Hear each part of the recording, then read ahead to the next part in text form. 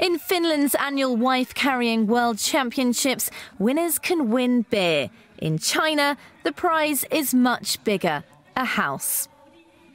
A total of 18 couples, winners from their home cities, participated in the competition in Shaanxi in South China's Guangdong province. The contestants competed in the 150 metre race using a variety of carrying styles. And the prize went to the defending champions Mr. and Mrs. Wu from Foshan City in Guangdong.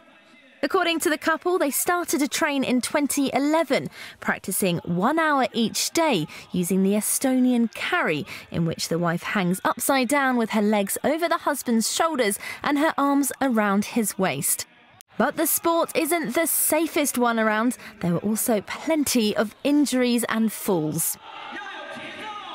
The Wus won a seaside house from the organiser Kaisa Group, a large scale integrated property developer.